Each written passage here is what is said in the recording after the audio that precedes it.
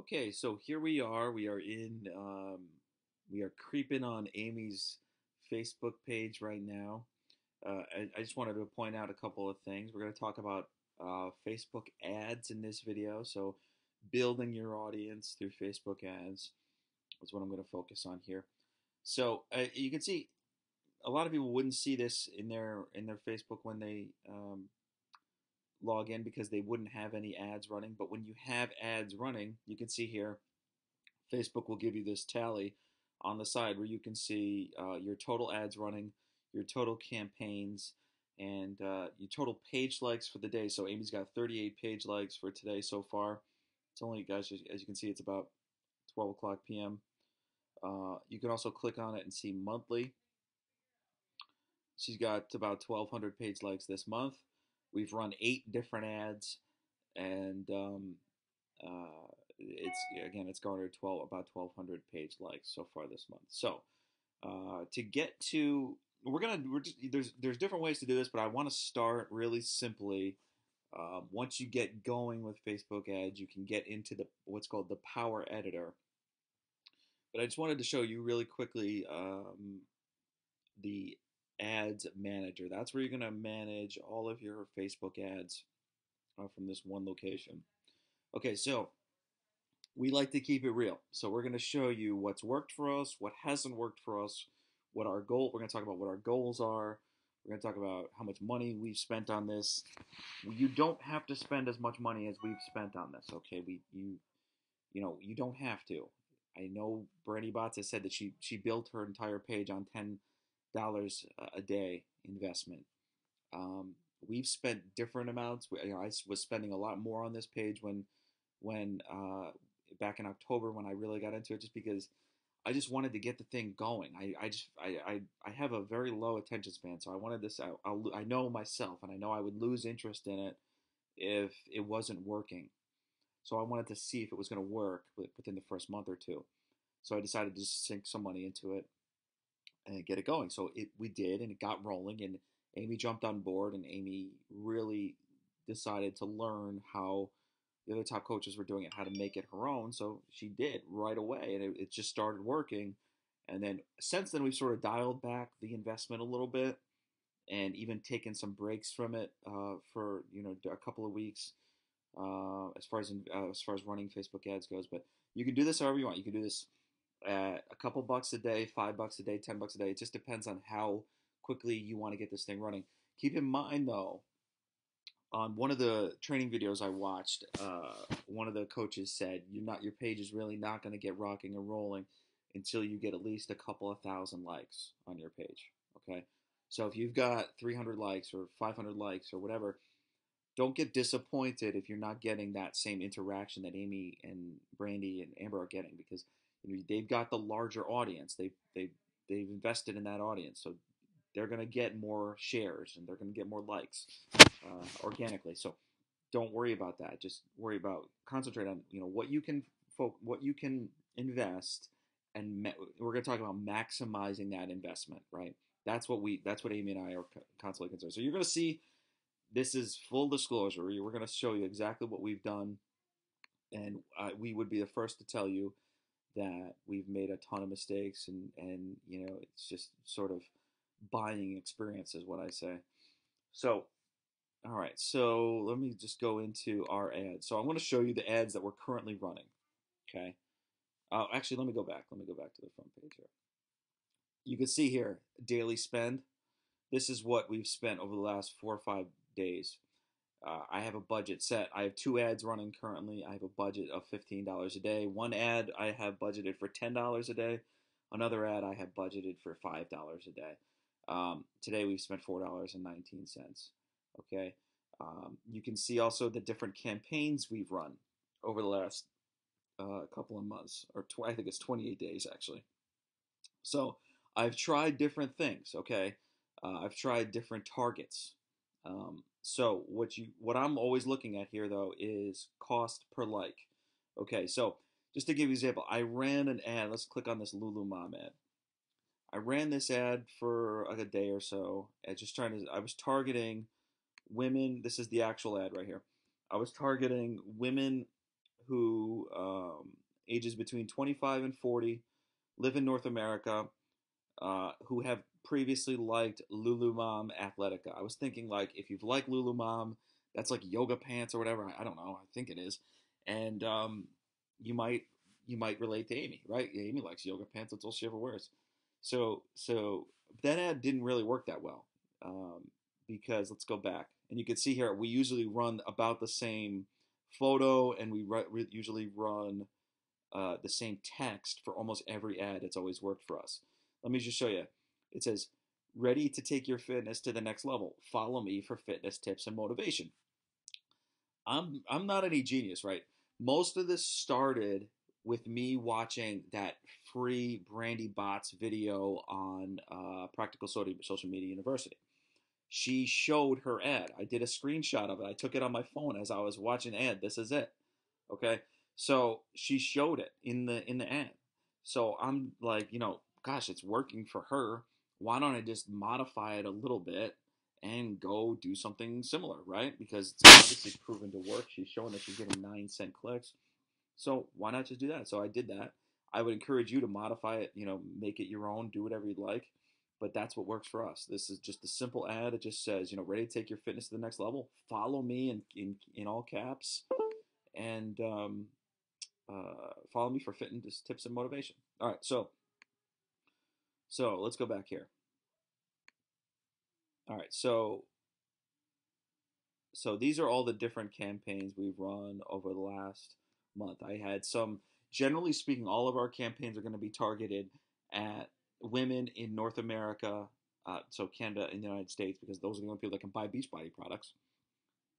It's very important to pay attention to that. You don't want to be marketing to women in the UK or or wherever that can't buy your products, right? So every ad we do is either uh, uh, United States, Canada, women because that's Amy's brand, that just the, the that's just who connects to Amy. Uh, ages 25 to 40, and I did that. So I've done different age variations, but I did that to sort of narrow down. We're going to talk about that when I actually create an ad, but to narrow down the amount of people, you always want that to that number of people. Let me show you to be under two million. Let me show you. Let's go back. I'm sorry, I'm sort of skipping around, rambling. That's just what I do, I guess. Um, let's pick on this one here. These these are the ads we're currently running. Okay, so we've got Amy. We're running two ads right now. One Jillian Michaels and one I call Fitness Two. Okay, so of all the ads I've run, I probably run I don't know 25 or 30 different ads. These have these have worked the best for us. So I'm going to show you those. Okay, so this is it. So you can see over here we've got a, a before and after picture. These are actually outlawed, right? So I, I, don't know how they let me do this, but but they did.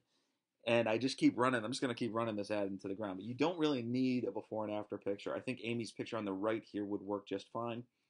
Uh, but as you can see here, we use the same text. We use Amy Provenzano Fitness. Potential audience of this ad is 1.18 million people. You always want that to be under 2 million. So you want to keep narrowing down your audience until you get that under 2 million. The, the lower number that is, chances are the cheaper the likes are going to be. The key to the, the key to this is getting cheap likes. Cheap, targeted, effective likes. Okay. So the cheaper they are, the more you can get for your budget, right? So that's that's what you're looking for. So this one, ages women, female females ages 23 to 40, who have liked Jillian Michaels, personal trainer. Okay, so that's it. That's it. So if you are not a 23 to 40 year old female living in the United States or Canada who have previously liked Jillian Michaels you're never going to see this ad. So that just narrows down our target. Our target is only going to be females who have previously shown interest in a fitness related person, you know, a famous fitness celebrity, Jillian Michaels, living in the United States or Canada. Okay, so that's that's one ad that we run currently. Okay, this is another one that I started messing with about uh, a couple of weeks ago and has been pretty effective. I, I run that Jillian Michaels ad because I, I'm targeting women who need to get in shape, right? So Amy's always looking for challengers. so I figured that Jillian, we've we've run different variations of that Jillian Michaels ad, uh, or different targets of that Jillian Michaels ad for women like we that we think are sort of that we want to target to get into one of her challenges. This ad that I'm going to show you right now, I call Fitness Two, is is is targeted at women who have liked more advanced fitness stuff. You know, like Women's Fitness Magazine or Muscle and Fitness Magazine or Fitness Girls or Fitness Magazine. It's all like fitness related magazines. Because my thinking with that was that we were we would target women who have sort of progressed in their fitness and maybe might be open to Beachbody coaching, right? Like that they they're into fitness, but maybe they want to make fitness their business. So that's an ad that we run currently. We've run all different ones. Like I had, generally speaking, all of these campaigns that you're going to see here are just different versions of the same Jillian Michaels ad that I showed you. We had run one that was targeted at people who had liked Zumba, uh, or um, people. We, we, this one right here. We had uh, run one that this one was pretty successful for us. That where uh, it was women who had liked uh, My Fitness Pal on Facebook. Okay, so it's women ages 25 to 40 who have liked My Fitness Pal. So that's pretty that's pretty much it. It's just simple. Look, it's only 480,000 people, but I was getting pretty good numbers with it. So, what am I looking at when I'm judging one of Amy's ads? So like what am I looking at? What do I how do I know if we're being successful here? Good question. So, here's what I do. Every day I log on to this page, this all ads page, and what I do is I change this from last 7 to I'm looking at both today and yesterday, okay? So today, let's look at today. So today I'm running, like as you can see here, Jillian Michaels and Fitness 2. Today I've got 13 likes on the Jillian Michaels page. I've got 26 likes on the um, the Fitness 2 category. Okay. And this is what I'm looking at. Cost per like. This is what you, the lower the better. Now this is pretty good. This is actually really good. I'm getting today. I'm getting 10 cents per like on the Jillian Michaels. I'm getting 11 cents per like on the Fitness 2. That that's about as good as you're going to see with targeted likes in North America. I usually don't get that good. My goal is usually about 20 to 25 cents per like. Now, some can get it cheaper. I'm just not an expert at this. I just wanted to sort of keep it as, you know, I didn't want to set myself up for failure. Eh, generally speaking, though, as this number goes up, I'll start getting rid of some of these ads. Like I'll just like start looking for other things. Like for example, I really wanted that Lululemon thing to work. It just didn't work. I was getting like 60 cents per like. And that's just for me is just not cost effective if you think about it. So that means I'm I'm paying $6 for 10 likes. I don't want that. I, you know, where with this Jillian Michaels ad, I'm getting 60 likes for $6. Whatever. I, I just use the random number there, 6 but whatever. So you can see, you know, the cheaper the likes, the more likes you're going to get for your budget. So it's really important to stay on top of this stuff to make sure that you understand, you know, and, and tweak your ads. And it's going to take some messing around. It's going to take like nobody's going to, eh, eh, you know, tell you this is X, X is going to work and Y isn't going to work. It's not really how it works. It's just you have to pay attention to what your ads are doing and how they're pulling and post different things on on in our within our group, and we'll, we'll help you try to see if we can get you pointed in the right direction. So the other thing we're looking at here is click-through ratio. These click-through ratios are pretty high. I mean, they're anything over one percent is generally pretty good. Four and five percent is pretty extraordinary. Let me just let me change it to the last 28 days so you can see what they've done over the last month or so. As you can see here, Jillian Michaels and Fitness 2 have averaged 21 cents, 22 cents alike. I'm comfortable with that over the last uh, over the last month or so. Their click-through rate has been about 3.8 and 4.2 percent respectively. I've gotten a total, as you can see here, a total of I don't know, maybe uh, just over a thousand, maybe a thousand fifty likes between the two of these ads. Now you can scroll down here. See, I was running this My Fitness Pal ad and that was getting me 29 cent likes. I'm probably going to start running that again. It just started slowing down for me at the end, so I so I took it off. Um, let me see some other ones. I'm going to show you some failures. Right here, here's a good example. This Weight Watchers ad, I was this this one I was targeting women who had liked Weight Watchers, right? And as you can see here, it's women 25 to 40, female, who had previously liked the Weight Watchers fan page. 1.1 uh, million in the target. It was working fantastically for me. I think I probably got two or 3,000 likes off it when I first started. It just kind of seemed to slow down, though, for some reason. I don't know. I'm, I'm probably just going to try to run it again at some point. But 56 uh, cents a like is just too much for me. I just don't want to spend that much. So I stopped running it. Now, like I'm probably going to start running it again at some point, but I just want to give you an example as to what you're, you know, if your likes start getting up in that 40, 50, 60 cent range, you're probably not getting a good um, a good return on your investment. Same here, same thing here. I ran this Panera ad for only a couple of days and it just bombed.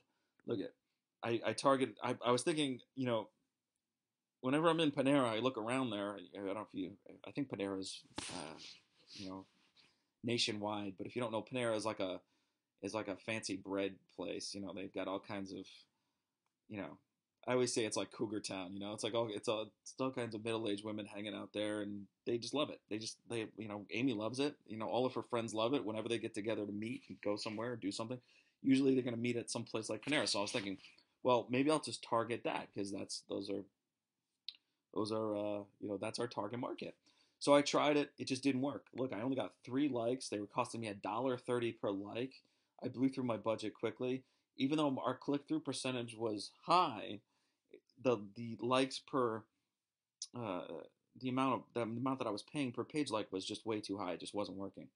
So I just you know that's fine. You just chalk that up to experience, and we're not going to do that. Generally, when I've tried to do different things other than um, other than um, uh, fitness related targets, it hasn't worked for me. It might work for you, but I've tried different things. I think I tried.